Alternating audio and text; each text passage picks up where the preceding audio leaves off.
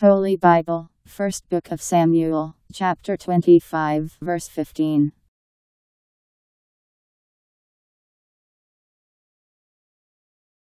But these men have been very good to us, they did us no wrong, and nothing of ours was touched while we were with them in the fields.